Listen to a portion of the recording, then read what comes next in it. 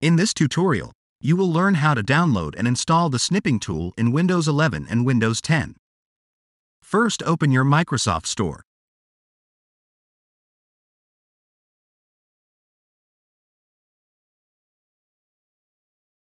Search for Snipping Tool.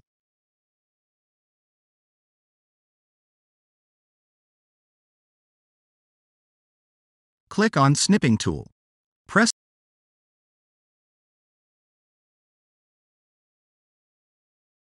The Get button to start downloading Snipping Tool. Wait for Snipping Tool to be downloaded and installed.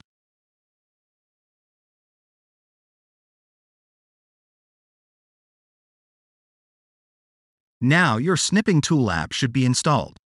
Now open your Snipping Tool app.